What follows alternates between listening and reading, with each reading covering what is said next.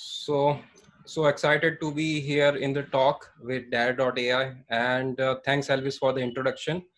Um, so as uh, you guys might be knowing, um, uh, I am an NLP engineer and I work out of Mumbai. Um, and I've been working on search and recommendation for quite a time. And I thought let's uh, make a big PPT out of it of, uh, from my learnings and have a huge discussion around it. So this is about um, a bit of an introduction to search as well as what are the new things that have come up in the search uh, dating to the recent uh, covid related search engines that were made recently. And i'll also be throwing light on them and throw some demos also. Um, and it will be a very practical talk not just theoretical. And i will also share my learnings that i've learned making this search as well as recommendation so uh, search and recommendation are very similar. I will uh, explain how they are correlated with each other uh, in the coming slides. So what is search? Um, now, we inherently understand that um, search is something that we use to find information relevant to our query, right? And we mostly think about search in the field of text, but there are a lot of different kind of searches available in the web. So the other available options are image search, video search, music search, uh, which we use in Spotify, um, video search we already use in YouTube.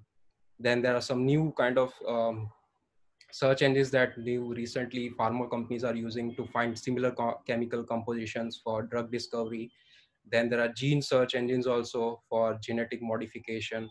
And then there can be multimodal search also where we use text, image, video, other things to even improve the search engines because sometimes we cannot get all the information from the text and we also might be interested in using the images or the video uh, with it.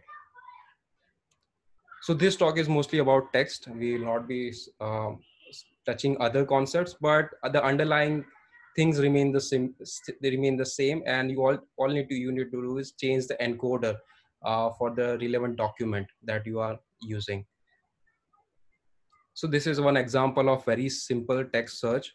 And uh, I just put up name of a person that I know and he is a YouTuber and Google understood that um, I am searching for this guy called CarryMinati. I have, if you look closely, uh, the spelling is incorrect.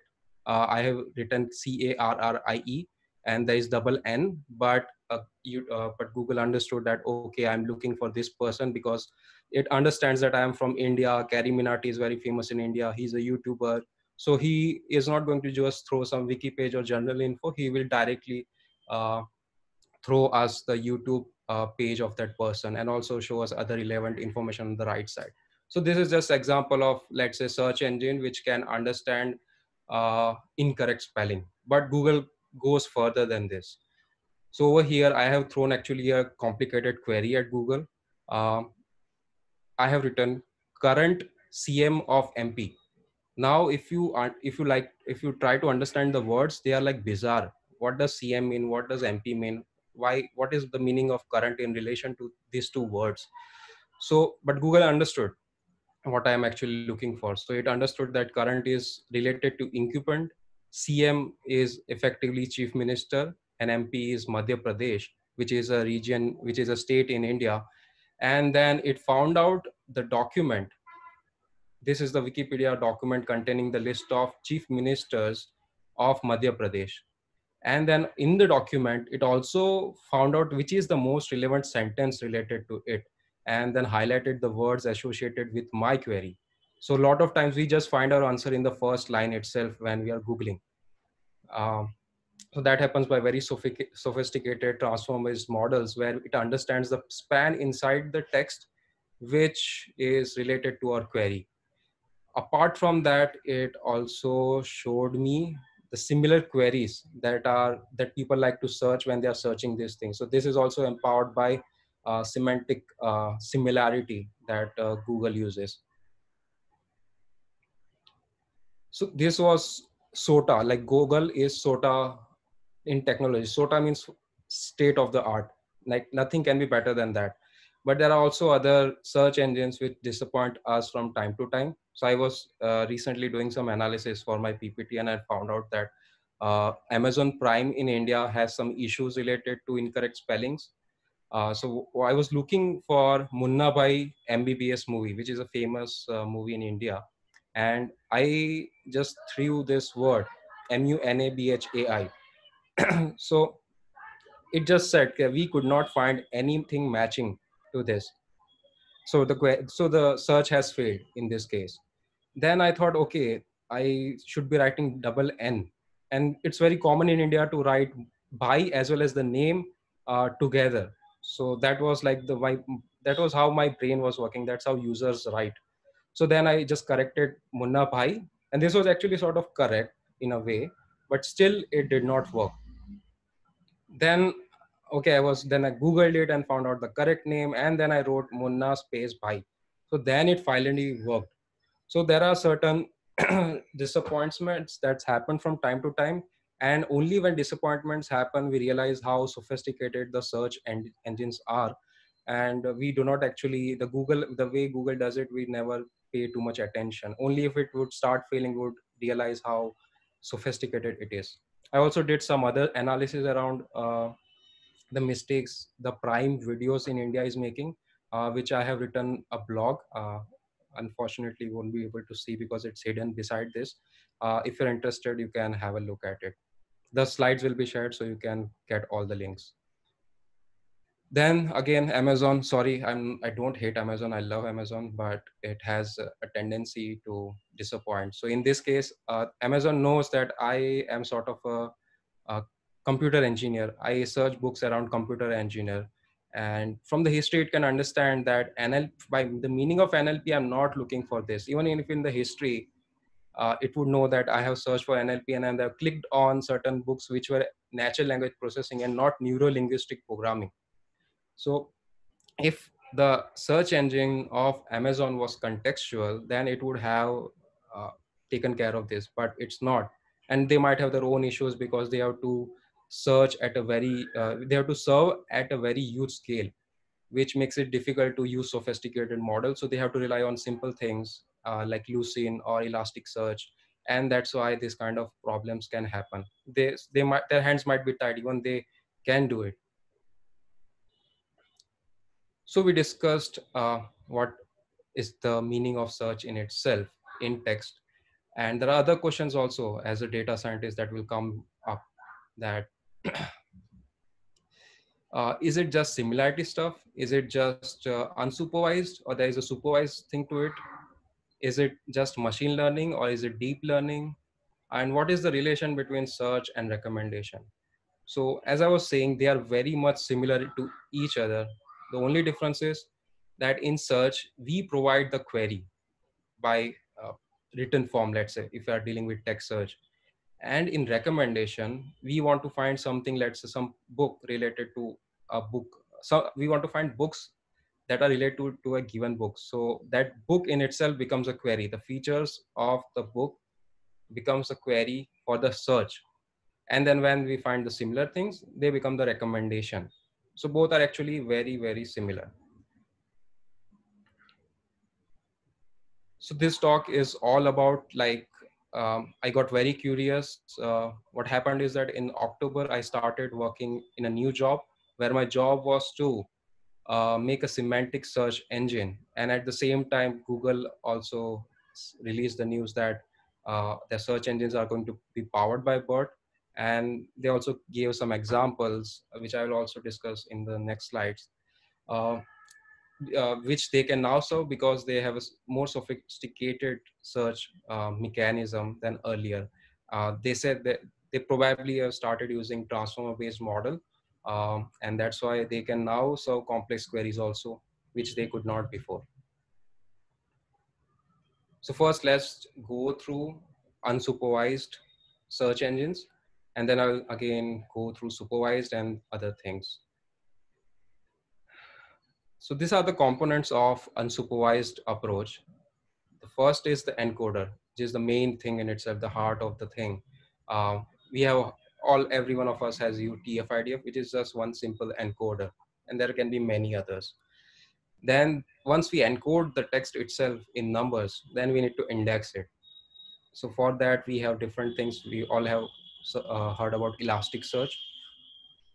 Then once we index also, then we we just then the, during the inference time we need to have some mechanism to find the relevant things. So for that we use some metric. So that is the similarity related metric, which can be anything, can be cosine, can be anything else also. Then whether we want to do the similarity over all the documents or only few of the documents. So there are situations where we don't want the complete recall. We are okay with less recall also um, in certain cases. So we'll also touch on this topic later. Just throwing some light on how Elasticsearch works. Um, it's just TF-IDF kind of thing, although it uses BM25, which is a modified version of TF-IDF with certain length normalization and certain other mechanisms which make it even better than TF-IDF.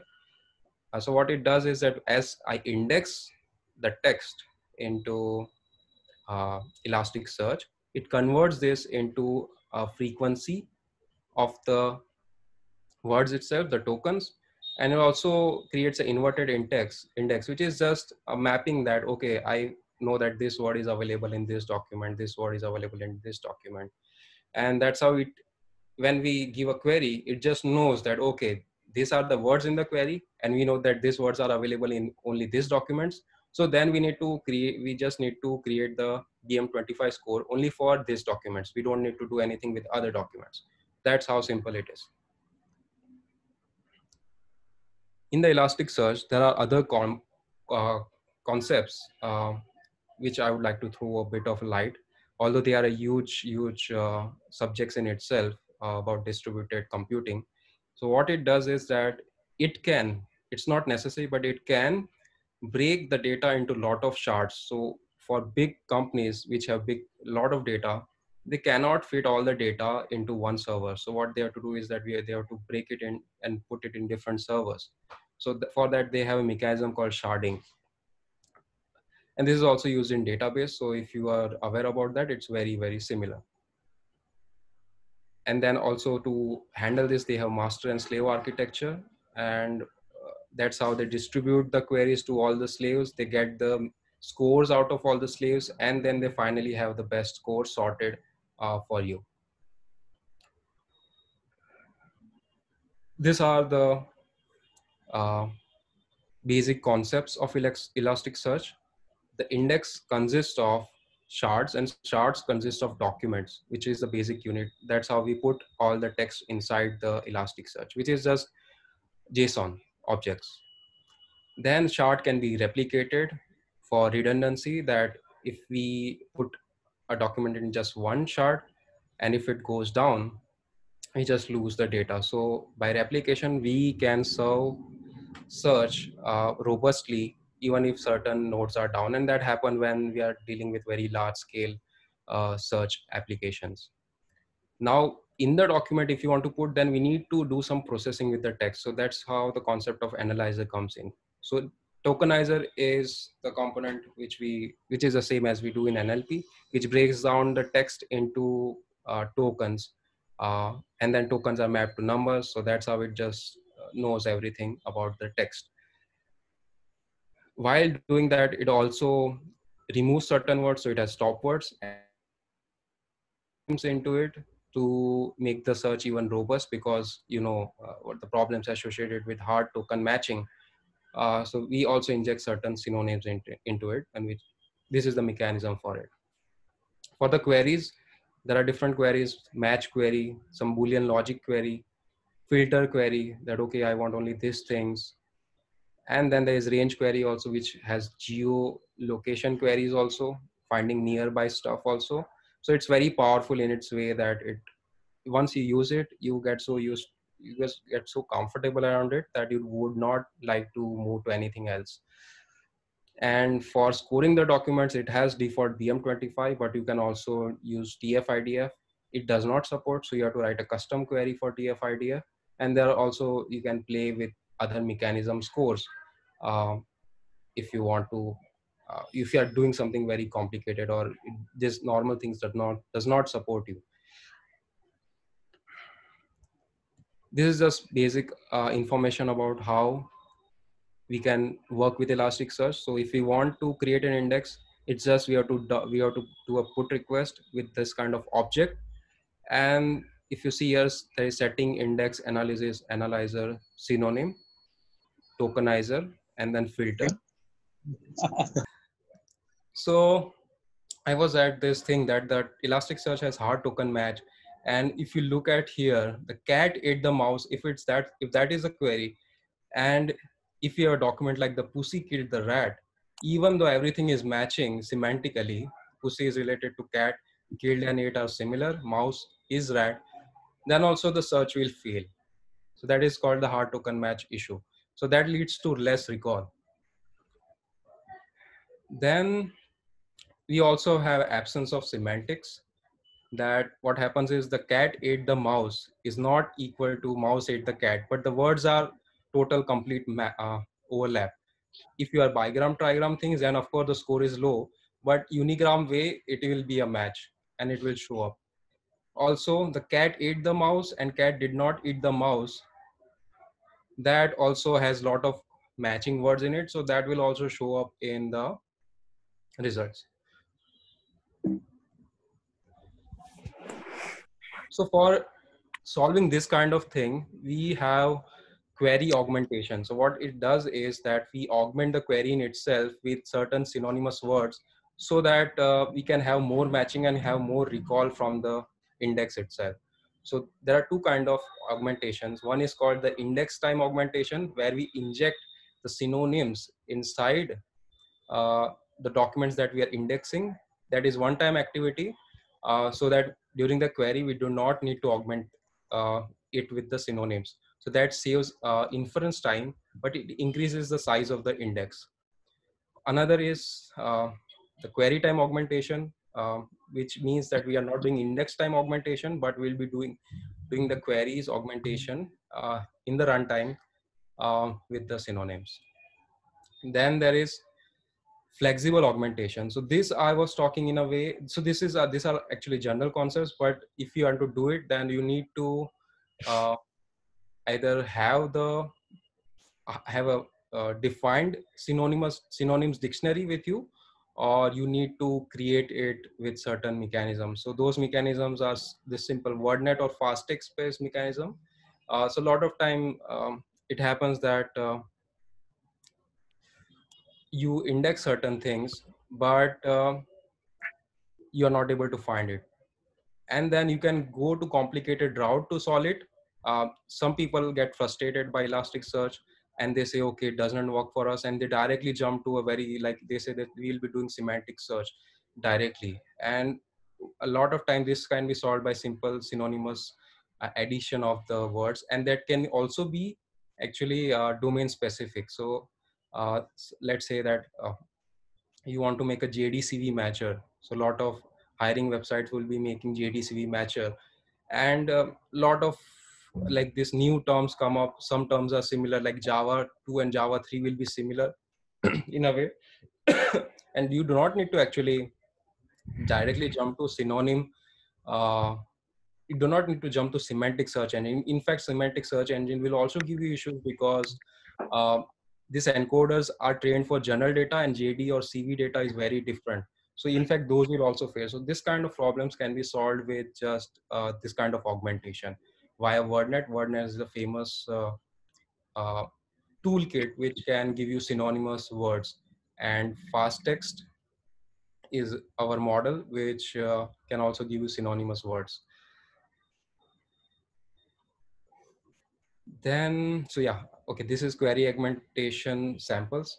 The query was the cat ate the mouse and synonyms given by WordNet and some model will be, or some model will be cat can have pussy and pet and then mouse can have rat, rodent or mice. So this will be injected either in the index time or query time and then you will get high recall. But you need to be aware about this that if you're using some uh, vector model like word2vec, fasttext, GloVe, then there can be issues uh, which let me show you.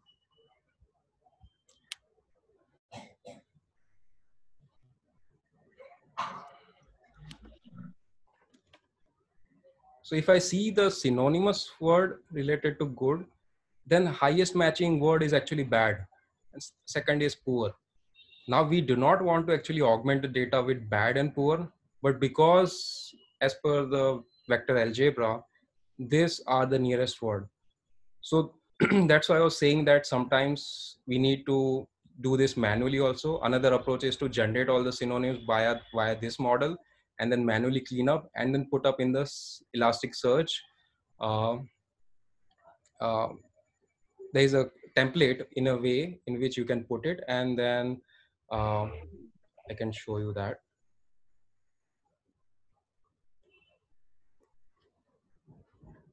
Yes.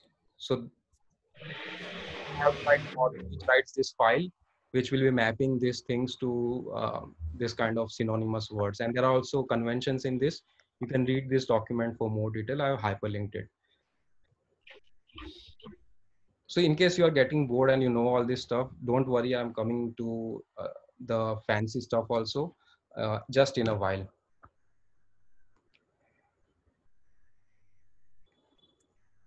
Now we talked about everything the basics of elasticsearch but we did not touch on like how what does it mean to have good search?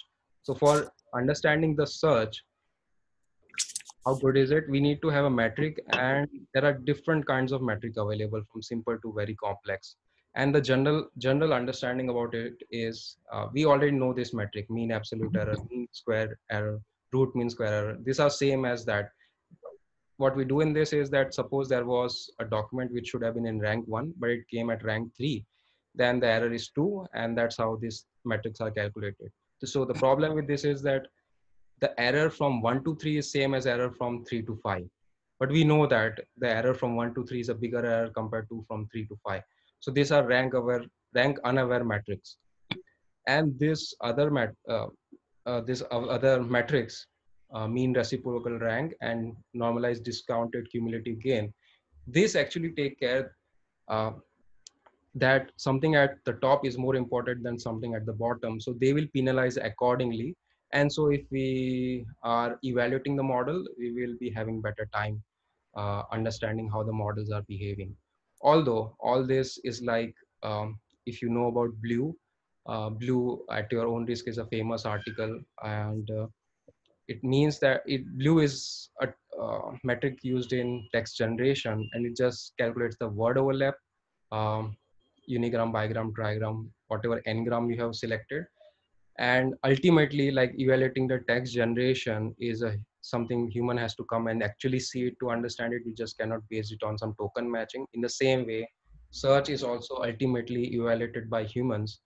And uh, uh, Google has a huge team which does this uh, from time to time, and they have also a very huge guideline around how to evaluate um, search um, manually. I'll also link that uh, uh document uh, in the PPT at the very end later. Now that was all simple search. Uh, coming to now semantic search in an unsupervised way. Uh, these concepts are very similar. We need to represent the text, we need to index it, and we need to have some metric for distance. Now to represent it, there can be many models. We are going into the domain of those shallow models, deep models, contextual models. So we'll be now discussing all those. So as you know about word2vec, we give word, we can get a vector out of it. There are a lot of models. Word2vec is just one we do not normally use Word2Vec. Either we use GloVe or FastText, and they are also available in different uh, vector size. So you can select as per your requirement, you, as per your latency, but the concept is we can represent those into numbers. Now in the numbers, if you see here, this queen, woman, girl, boy, man, king, queen, and water. So these are humans. And we can see from here that there is this blue line. There's this blue line which goes up to here but does not come here. And there is this something which goes from all around. And there can be overlap around other things itself. Like woman and girl are have, having high overlap over here.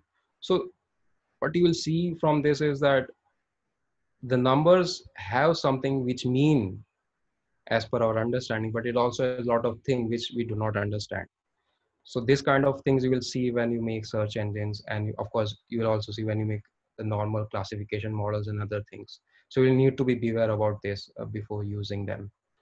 So one way to encode the documents is uh, the documents when i say documents i'm using it in a free way but document can either be just small phrase it can also be a sentence it can be a paragraph it can be a huge document also but let's not throw let's not go into that nitty gritties because it's very complex.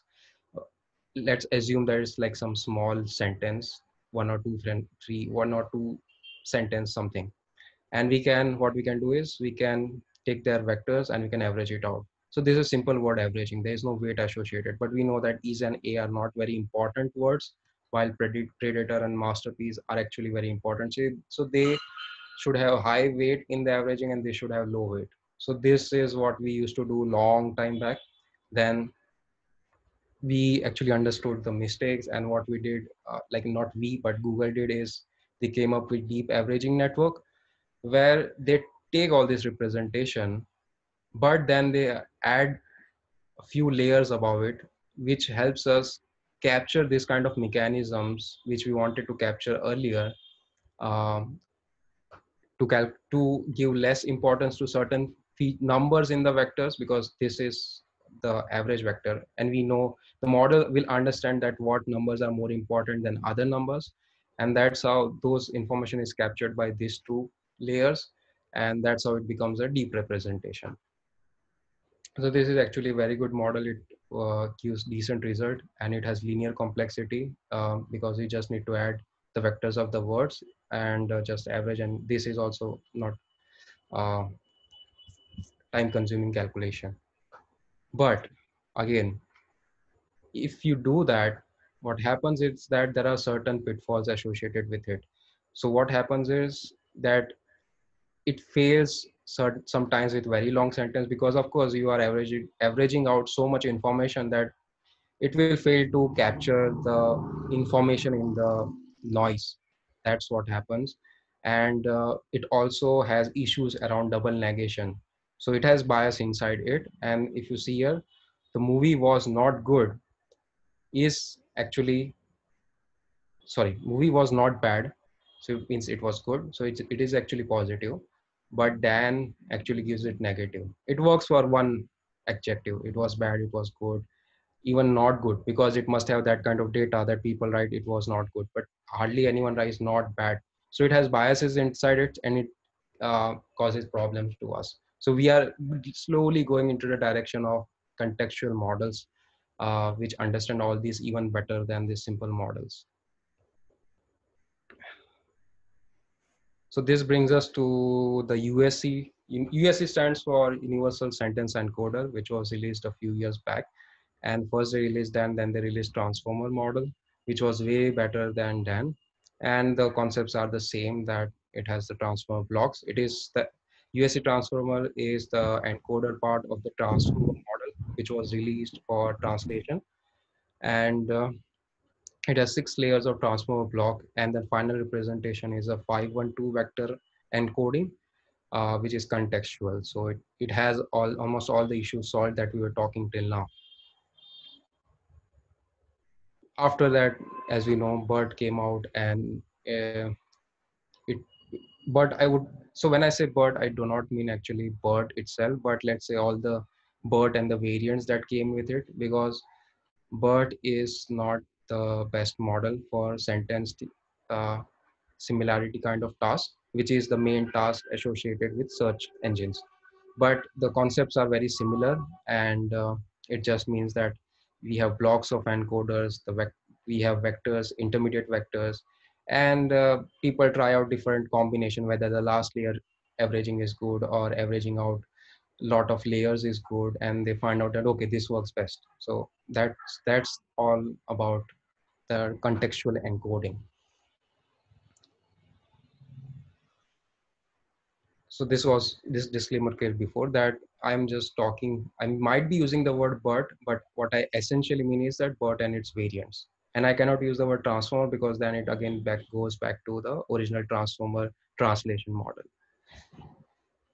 Then apart from that, uh, uh, in the semantic search, there are also uh, other considerations that how do you want to index the thing.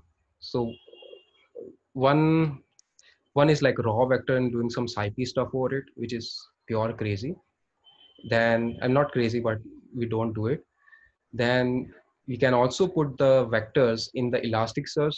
Um, so this came out uh, like I, I think a year back in a stable version of Elasticsearch from ES7 version.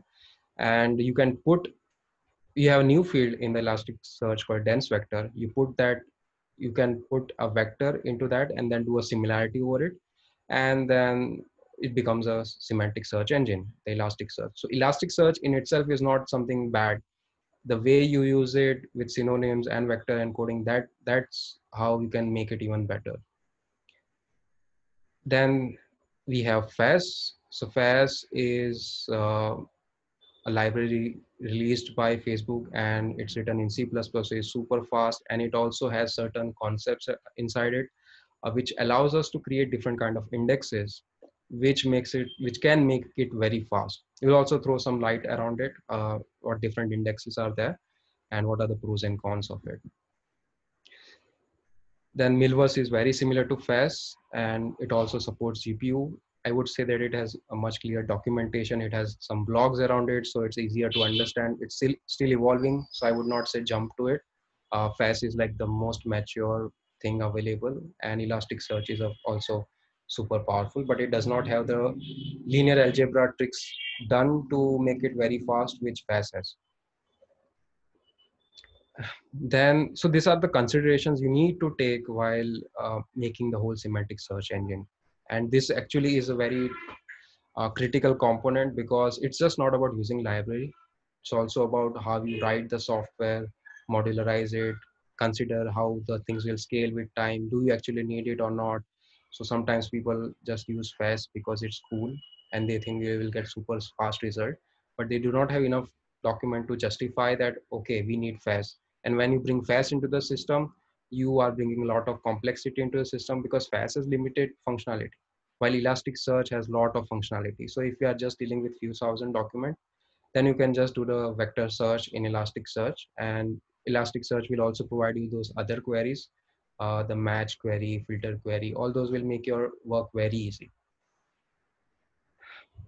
Then, so apart from this indexers, type of indexers, then you need to also think that do you need 100% recall or do you are, are you okay with approximate recall? So when does this come into the scene? Like you will be like we want all the recall. Why would we not uh, why, would we okay with some of the uh, documents?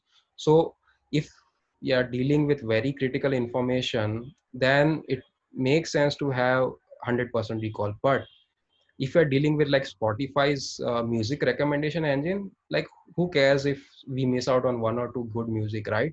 If we if that can give us huge uh, savings in cost or it can give us uh, super good latencies then of course we can we are okay with approximate near neighbors also so those consideration will go into uh, selection of the indexer then there are CPU and GPU consideration, normally we don't want to go with GPU because if you, if you must be knowing the cost of GPU instances uh, in AWS and GCP and Azure, uh, we avoid it as much as possible. But if we are dealing with very large data, we want super good latencies, um, then we need to go with GPU. Then certain frameworks will have multi-node support. So Elasticsearch supports uh, multi-node. And as i was showing you earlier sharding and all those replicas and all those stuff is available inbuilt in elasticsearch so if your documents are going to grow with time they are going to grow very fast you need that uh, we should be having that kind of scalability then we need to take this very seriously. Otherwise we need to re-engineer the whole thing again then should, is it allowed to export index? Um, this is interesting question because we normally just want to index more and more document and then uh, okay with it. But there is a scenario where if you have to if you are not having a real-time search engine where the document is available uh, suddenly what we do is that we can index it periodically after a certain time and the indexing happens in gpu so it's super fast. And then you export the index and then load it in a cpu instance uh, so that uh, both the things happen quickly and you have almost all the documents available in few hours. So that kind of uh, reasoning goes into this. Then we had this kind of scenario that we not only wanted semantic search engine but we also wanted to filter the results based on certain key so those becomes very easy in elasticsearch we we could have done it with FAISS we were on FAISS but we said okay we don't want to complicate things unnecessarily. Software engine we might have other requirements in the future. So then we just move to elasticsearch and that's why elasticsearch always is very good option. Then language support. So certain uh, uh, indexers like elasticsearch had its own tokenizers and those tokenizers can index certain language only so if i'm in india and if i'm making something for very indian specific thing like i'm in hotstar and i want to support indic language search of movies uh, but Elasticsearch does not support Tamil, uh, does not does not support Tamil or some very regional specific language. I am stuck. So those kind of consideration can come into this, and so you have to some take some other tokenizer, fit it into some pipeline, those kind of things. Then ease of scale. So there is multi-node kind of stuff only ease of scale. Then suppose you don't want to have uh, highly skilled engineers to have a very good customly made solution like AWS has inbuilt managed service of Elasticsearch. So if you have that kind of consideration where you know that things are going to grow with time and we do not have time to hire an expert of Elasticsearch who knows how knows how to grow things with uh, and use all these replicas and sharding. If you don't want to put too much effort into that, then managed service would suppose managed service, uh, then AWS will support Elasticsearch. So those you need to think. Then distance metric, um, more, most of the time we use cosine only, so there is not much discussion around it, but there are other distance metrics available also. In certain cases, some people have told me that uh, Jaccard worked for them because they wanted to do some overlap and they wanted some recall and they said Jaccard worked for them. But um, dot product is like cos cosine dot product. Those are the thing that works for us. Now, how do you do a semantic search in Elasticsearch?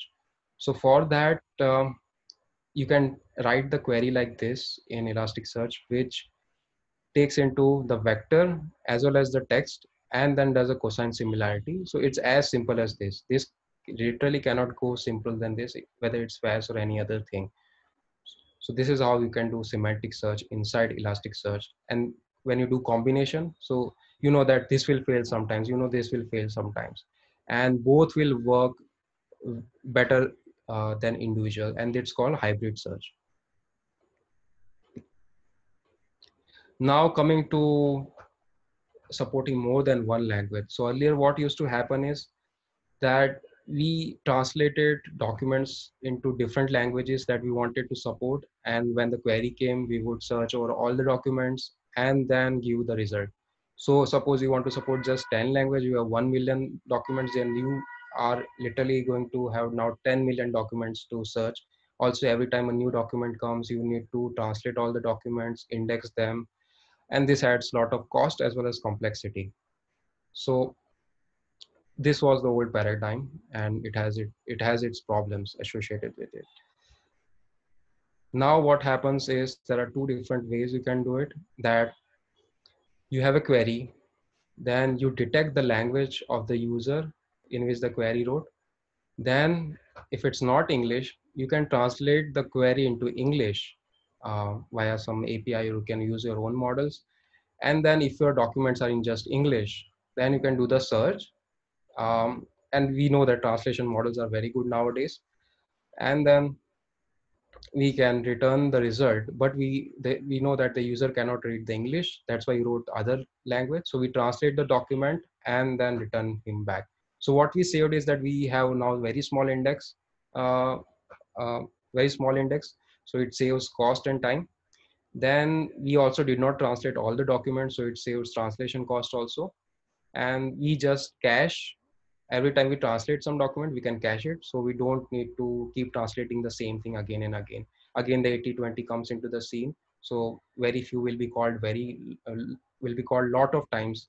And that's how we can save the cost. Another paradigm is to detect, again, detect the user language. Then use a multilingual encoder. Uh, so there are USE multilingual encoder, which can encode the text from any language. It suppose 104 languages. It can encode in a similar vector. So even though you wrote how are you in English or how are you in French, those both will be encoded in, in a very similar kind of vector space. So the vectors will be similar. So now you can, and this were also encoded by the multilingual uh, document. So you can do a search over it. And then whatever document you get, you can translate it back to the user with the detected language. So this is, uh, I think, happening more nowadays. Now coming to the supervised uh, approaches. So I, so we don't want to do supervised ideally, but there are certain uh, cases where similarity is actually not an indicator of the right result. So if the user meant user had some query, we found the similar things, but he's clicking all the time on third or fifth document, which means that third and fifth should have been the first and second result. But um, the model similarity function is not able to capture that uh, uh, that function because it's just a non-linear function, shallow non-linear function. While now with supervised, we can make a deep non-linear function, which can capture this kind of nuances. So that was the why around it. What we do in supervised is very much like normal classification models or other things that we make. Uh, we have some X as input and we have the Y uh, classes that we want to, we represent all the documents as classes. And then we just train a model to predict which is the best class and then sort and just show the top, to, top 10 probability uh, documents. And the other consideration that go is that a lot of ways you can do it. So model selection architecture selection is very crucial. Again i'm using the word BERT but it means BERT and variants so what we do in learning to rank it's uh, this is very famous approach um, it's in general just a classification kind of stuff where what we do is we have the query we have the document and in BERT's next sentence prediction task, we can, it's an entailment task that whether the second sentence came after the first sentence, uh, and we have a class zero and one, but we can also use it for other things like this. And the BERT or other models will actually learn the function. So we take the te text of the query, we take the text of the document, and then put a separator. The separator is defined by BERT itself, so we are not doing something new.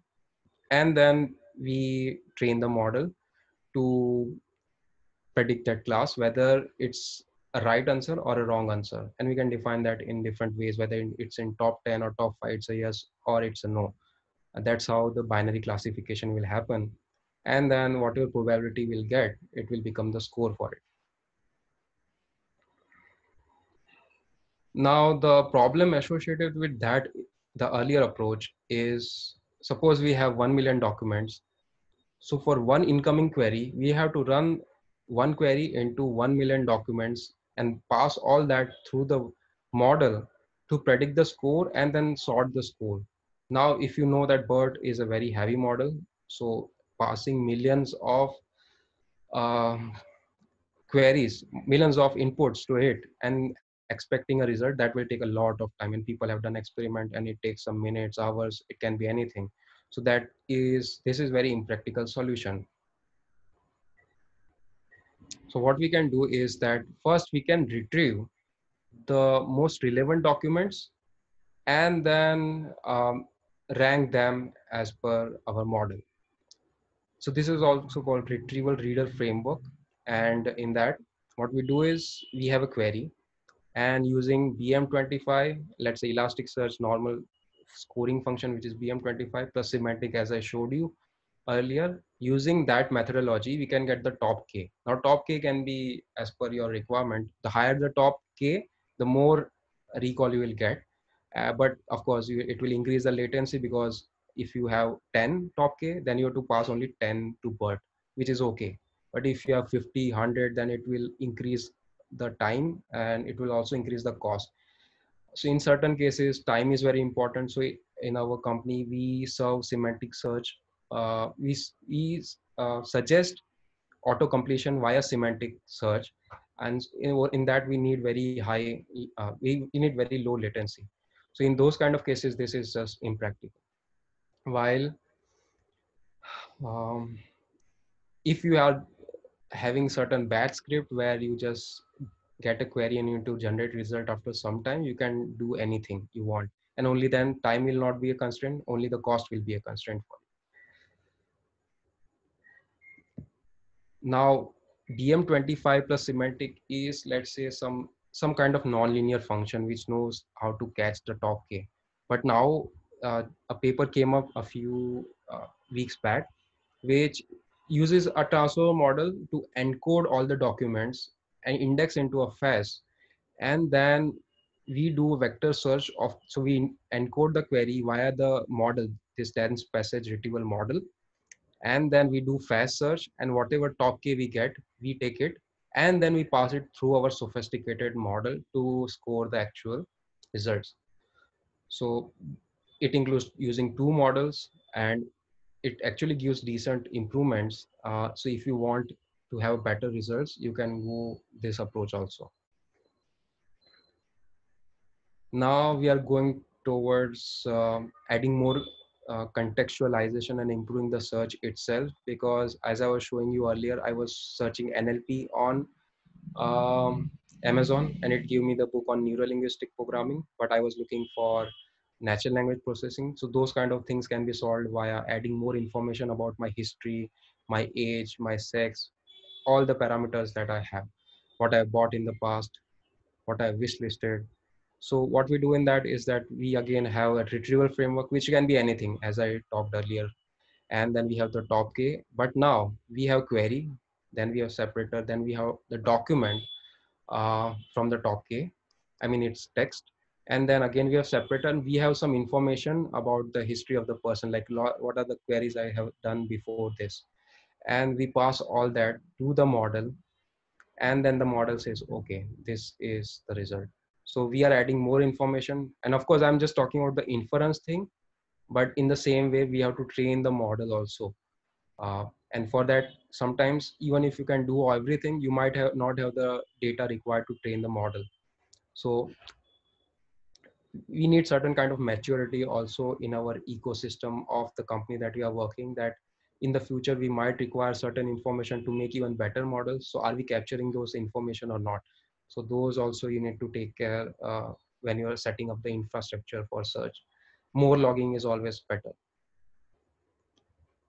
Now this is fancy thing which I would definitely not do in the production, but just I'm extending the concept so that you can apply it in the way you want it. So this is semantic retrieval plus previous query context. Level 5. Level 5 meanings I'm just using the word level to denote the complexity associated with the solution. So again, top K, but this time I'm not using this separator framework because this actually makes it difficult for the model to understand a lot of information. And we might also be limited by the max uh, length that the BERT can support or BERT or variants, which is mostly five and two. Only like Longformer and recent models have come up, which can support uh, very long queries also. Also, there are XLNet and old models, but they are very slow. So we would definitely not do anything with that. so rather than just concatenating everything, what we do is we have a separate model for encoding the things. We can also cache it if we want, uh, because document will be the same so we can just cache it. Query can be different but sometimes they are same so we can cache it. So we can use caching as much as possible uh, to make it uh, cheaper and faster. We do all that we concat the vectors suppose this is BERT BERT BERT. So 76876 it can be roberta but the size will remain the same. So we get 3 into 768 length vector and then we can have a few fully connected layers after it and then we can train the model and the same will be happening in the inference also. Now coming to large scale problems, um, because a lot of companies have a lot of documents and it becomes difficult to handle. It's easy to start with search, but as you grow, a lot of requirements come into the scene documents data a lot of things come into the scene which make it difficult these are the main things you need to consider when you are making the system time space and cost complexity already thrown a lot of light while uh, doing the talk but again i will throw some more as i understand so FAISS and Milvus, you need to consider um, if you are interested in these things, which is it can save space. And how it can save space is that it has quantization feature. So normally FAISS has 32 bit, but if you use the quantization uh, index, which is a different kind of index, and it uses 8 bit. So over there, you can get not only saving in space, uh, which will be a factor when you're doing Google level thing, and uh, it can also help you in the inference time because 8 bit will be uh, lesser will require lesser compute compared to 32 bit so again it also saves the latency. So it solves a lot of problem at once. And both FAISS and Milvus are very similar. Now coming to the different indexes that are available in these two. So one is flat which is a very basic thing. Uh, it does not have the kind of uh, things that we want in FAISS, but it's written in C++, so it's fast. But all the tricks start at this level. So if we want 100% recall, then we don't have any option but to go with flat uh, type of index. And the other parameters are whether it uh, supports CPU, it works with GPU or not, whether it supports float vector, whether it supports binary vector. Sometimes it can be binary, right? It can be just features of people um, uh, which can be a case in Facebook where lot of people like a lot of things they have interest and those can be represented as binary vector instead of float vectors in case we are not interested in 100% recall then we can use IVF flat so it's it's called inverted index uh, structure where um, we can we have other parameters um, called nlist which what it does is that it breaks down the data into uh, clusters as per the nlist parameter. And then whenever a new query comes in, it finds out the most similar cluster centroids and then only attacks those clusters rather than searching everywhere. So that's how we get uh, good results very fast because we are just neglecting other data which are far away in the vector space in a way. Then we have the quantized version, which we have to use it if you want to do fast search, but as you see, it does not support binary. And uh, if you want to go whole full-fledged GPU stuff, then uh, we have to take this one. Now, other large scale problem is um, that this is very um, practical approach it's not just related to large scale you can do for small scale also but we don't think so much in small scale so we say large scale problems so what um, what happens in e-commerce companies is there are a lot of documents and every time the query comes in we search on all the documents and then generate a score but if you already know that it's a particular kind of query which is related to either laptop if i'm searching Apple Pro laptop, if it's in the query itself, then why I'm searching in all the documents, indexes? I mean, assume that these are different indexes uh, in the data. So what they do is rather than searching over everything and then generating, what we do is we put a category classifier before it.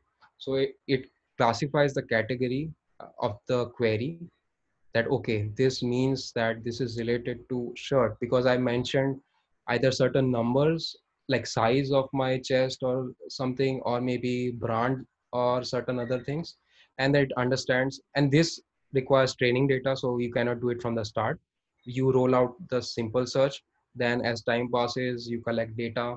And then when you have enough data you know that when the person searched this they bought this. So you are mapping of the categories uh, of the query. You can also uh, get that from the, what they clicked.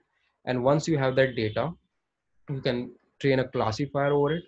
And then um, it classifies and then you search only on the category of the product. So that's how you can save uh, compute time. And of course not just compute time but it increases decreases the latency. So users will be happy. Another technique of which we discussed is for for improving the uh, uh, for solving large scale problem is the retrieval reader framework which we have to do anyways it seems like. And but what happens is that it becomes uh, more of a software engineering problem that okay you are not able to make this but this also because two systems are coming into this uh, software. So it just makes it difficult to make but we should be doing it ideally. So if you see uh, BM25 is having uh, 32 and uh, deep passage retrieval is having 41 and this is one table. There are other tables also. You can look up look at into the paper. So it's not a marginal improvement game it seems. It's actually a decent improvement. Uh, so if you are interested you should definitely look into this. I already talked this so i will be skipping this. Now uh, i posted on linkedin and somebody reached out to me that in the talk they also want uh, to uh, throw light on certain things. So he he writes everyone talks about uses of semantic search, but how good is the accuracy of such vector-based searches? With BERT-based or USE-based semantic search, results are very different with small changes in the query words. Can you touch upon these challenges and how to build a robust and efficient semantic search engine?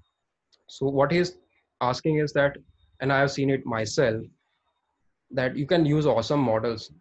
And I also seen that uh, as per the paper there will be something sort of but it might not work for you. So those kind of nuances come into the scene. And also even if there is slight uh, word difference or uh, character uh, difference or uh, incorrect spelling mistake. So one of the beauty of um, this subword level contextual model is that they can handle uh, incorrect spellings basically oov or unknown words to some extent because they are subword level but the results change sometime and sometimes the results are very bizarre also.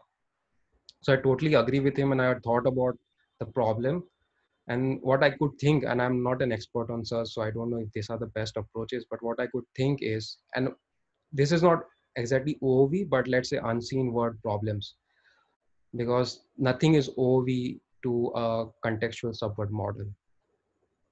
So one unsupervised approach very simple approach is to have a spell corrector layer and I've seen that if you take a general spell corrector, then it might uh, correct the spelling to something which was not the intent of the person. So you can actually, if you have the data of the queries, you can train your own spell corrector um, with SymSpell library or Spello library so that it will map it to what people actually write on your platform uh, when they mean, uh, when they write incorrect spelling and if you want to go full-fledged you have a lot of data you have r&d budget everything then you can do these fancy approaches also. So what you can do is you have training data. What you can do is and you are doing supervised approach you can corrupt the data. That you can remove certain characters remove certain words from the queries uh, via some random mechanism um, and then train the model so you can do a data augmentation uh, actually that you have the correct queries but you also have uh, incorrect queries which is the augmented data and then you train the model so that the model understands that whether this character is there or not whether this word is there or not. It has to map to it has to give the same search results. Another is to swap the tokens because sometimes people write grammatically incorrect stuff. So this is also the both are very similar only. So you can swap the words also and do the same training. And another approach is to augment the training data um, via this library called nlpaug, and it has different models which you can use. You can also use make your custom models and use NLP Aug to use it to augment the word. So basically, if you have some sentence and uh, you can swap certain words um, via the model that you're using. It can be any models, shallow model, deep model, contextual, anything. It supports everything. And whatever sentence you are generated, you can then create a score of the sentence because sometimes it can, uh, the mask to token replacement uh, can be um, sort of incorrect or does not make sense. So you can use BERT score, which is another model which can score the sentence which is this model was released to uh, score the uh, text generated by other models. So you can remove those sentences which have less score. So all in all, you have to do data augmentation with some corrected, corrupted or some other kind of uh, new data and then train the model. So your model will be more robust. Now, uh, what happens in NLP nowadays is that it's not much of a brainy activity i would say. Nowadays i have to just think what is the right model what is the right software library framework. Those things are making more problems nowadays than selection of the model. So what i did is that i just made this small chart. And uh, if you are interested in making semantic search then you can go through this chart and then select whether you are interested in high latency, low latency, and then select the model model for your encoder purpose and then try it out. So these are the possible good approaches. And I try to keep it updated, uh, but new things always keep coming uh, all the time.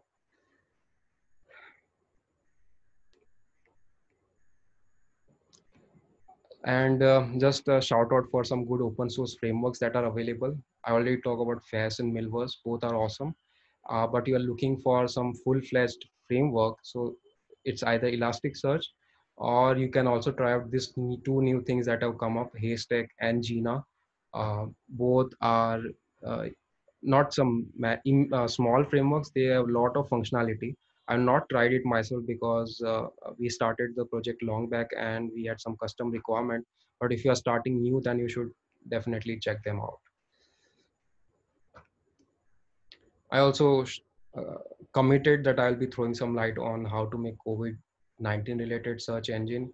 And I did some survey on what are the approaches used. So what people are doing is that um, they either train a new model with the data related to COVID because it's a very, very different data. So it all started with BioBERT, BioBERT, which was like one of the first domain model that uh, people trained with BERT, uh, basically fine tuned with the domain data. And then we have other BERT models also available, SciBERT and ClinicBERT. Someone great person also uh, tuned the BERT with COVID data and released it in the Hugging Face library. So what they do is that they use these different encoders and then make a semantic search engine. One person also did topic modeling over all the uh, documents and then created topics for every document, which serves as extra feature in the semantic search engine. Then uh, this was uh, this was a paper rapidly deploying a neural search engine for COVID-19. And they have this website covidex.ai, which you can try it out. What they do is uh, they have BM25 retrieval and then they use a TF T5 base model for ranking. So it's a retrieval reader framework. And for the input, what they do is that uh, give the input as this is fixed query colon, then actual query um, that the person has written, and then document colon, the document uh, text. And then this is fixed relevant document query or fixed. These two will change for every input. And then the output has to be true or false. And you know that T5 is generative model. So it, can generate literally anything and you train it and then it starts generating true or false. Then Google released uh, this one NLU powered tool to explore COVID-19. They did not uh, throw much light on how they do it, but what it seems is uh, first they rank the documents and then so for based on first query they rank the documents then they ask that what is the next query associated with the document and then they use um, squad squad type of model to find out the span in the document which actually answers the second query. So it seems that kind of and i think they use the same kind of model for actual google search also. And um, i had made this small demo so a lot of people ask me how can i get started in data science how can i get started in nlp uh, and um, it becomes difficult to help everyone. So what I did is that I put up all my bookmarks and some custom, uh, custom queue, custom links that I knew uh, into a database uh, and then indexed it with the uh, hybrid search, which is TF-IDF plus USE. And then put a Streamlit UI over it. And uh, over here, you can ask anything and then it can uh, sort of give you the links which you can get started with. So it's not for like experts, but somebody who is getting started, he can, his questions will be mostly answered over here. Like uh, he will be interested in like what is vanishing gradient problem. So I have written incorrect spelling and it failed. So this is what happens sometimes with uh, uh, this kind of models. Uh, sometimes they work with spelling mistakes, sometimes they do not.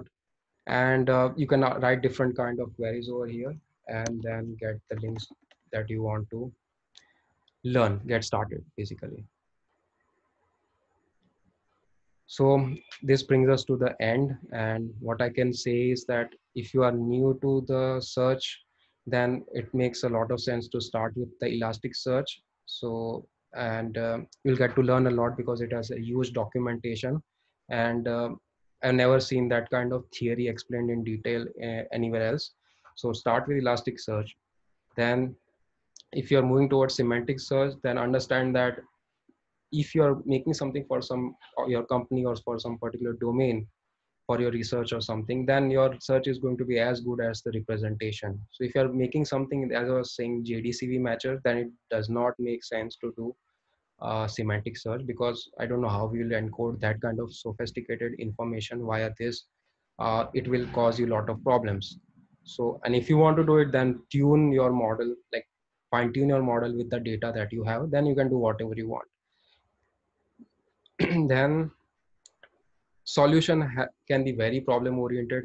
Sometimes we just jump on the frameworks like elasticsearch FAISS milvus and without if we do not think through like the other things scalability compute um, other filtering things that you might require then you might be in trouble later down the road.